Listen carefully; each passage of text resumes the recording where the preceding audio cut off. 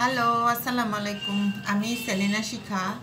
আমি আজকে hot and sour soup বানাবো। তো সেটার জন্য আমার লাগবে মুরগির বুকের মাংস। তো আমি মুরগির বুকের মাংসগুলোকে এভাবে লম্বা লম্বা করে কেটে নিয়েছি। এরকম করে কেটে নিয়েছি। তো এখন এখানে আমি দিব একটুখানি কর্নফ্লাওয়ার। হাফ চা চামচ কর্নফ্লাওয়ার। আর দিব একটুখানি লবণ।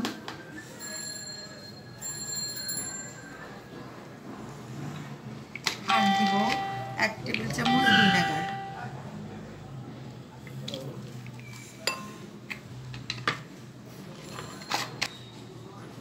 এখন এগুলোকে আমি ভালো করে মিক্সড করে ফেলব।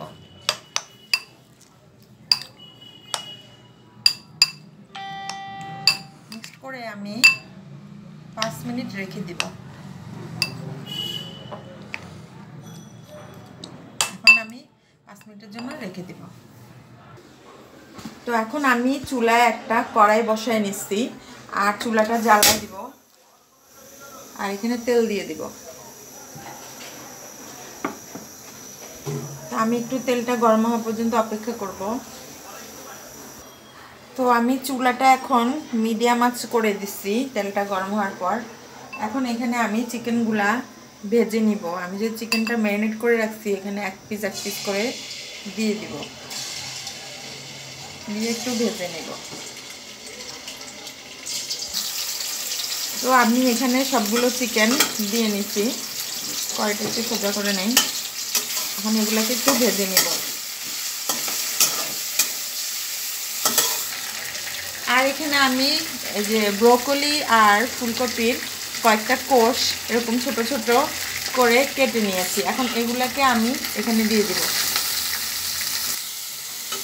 আপনারা ইচ্ছে করলে এখানে গাজর দিতে পারেন একটুখানি, বাঁধাকপি দিতে পারেন একটুখানি।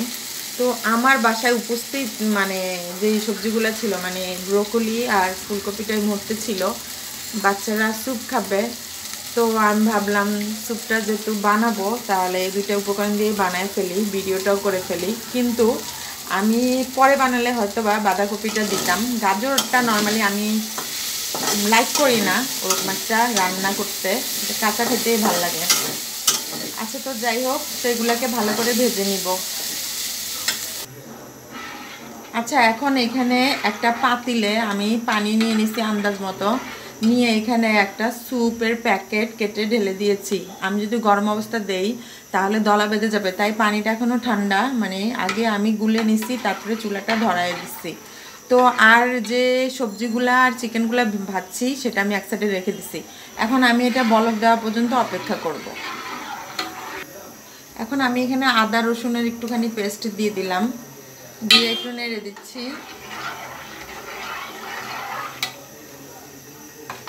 আর দিব একটুখানি লবণ। আন্দাজ মতো দিচ্ছি আমি, আমার আন্দাজ মতো।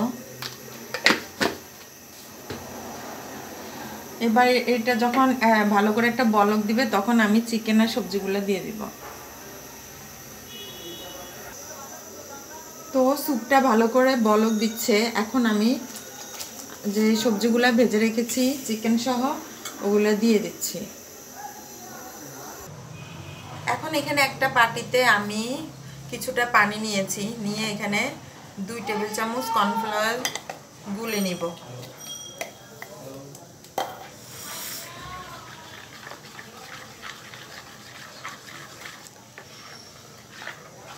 এখন আমি এটা একটা সাইডে রেখে দিব।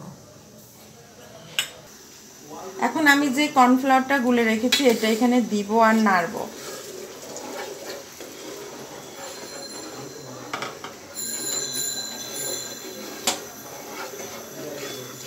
এখন আরেকটু বলক পর্যন্ত অপেক্ষা করব। এখন এখানে একটা বাটিতে আমি তিনটা ডিম ভেঙে নিয়েছি। ভেঙে এখন এগুলাকে আমি ভালো করে এভাবে ভেঙে নিব।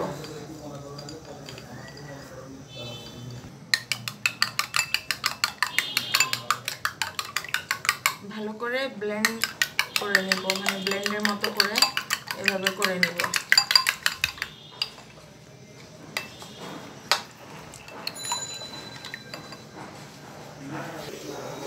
এখন এই ডিমটা আমি দিব আর নাড়বো, দিব আর নাড়বো।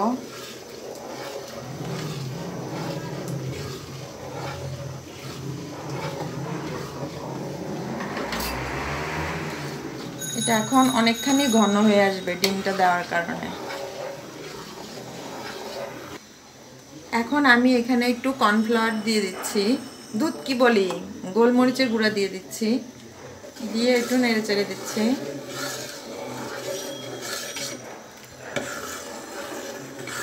তো এখনই আমি চুলাটা বন্ধ করে দিব, তারপরে আমি বেড়ে দেখাচ্ছি। তো আমি এই যে এই বাটিটাতে তুলে নিচ্ছি।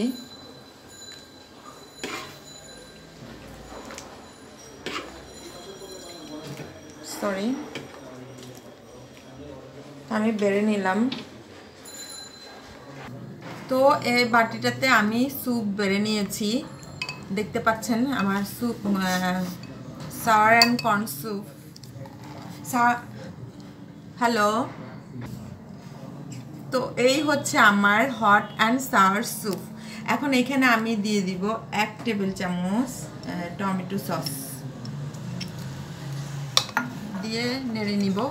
এখন আপনাদেরকে আমি একটা কথা বলে নেই। আপনারা আলাদা ভিনেগার একটা বা, ছোটো বাটিতে নিয়ে নেবেন। নিয়ে ওখানে একটা বা দুইটা কাঁচামরিচ কুচি করে ওখানে ফেলে দিবেন। তারপরে ওইটা এখানে এই সসটা দিয়েছি না, তো এই সসের সাথে ওই ভিনেগার মানে কাঁচামরিচ মিশ্রিত যে ভিনেগারটা, সেই ভিনেগারটা এখানে দিবেন। দিয়ে তারপরে খাবেন। তাহলে বুঝতে পারবেন খেলে যে কতটা মজা এই হট অ্যান্ড সাওয়ার স্যুপটা। তো আমার এই হট অ্যান্ড সাওয়ার স্যুপের ভিডিওটি যদি আপনাদের ভালো লেগে থাকে, তাহলে please please like comment share O subscribe করতে ভুলবেন না। তো আপনারা সবাই ভালো থাকবেন। আসসালামু আলাইকুম। আল্লাহ হাফেজ।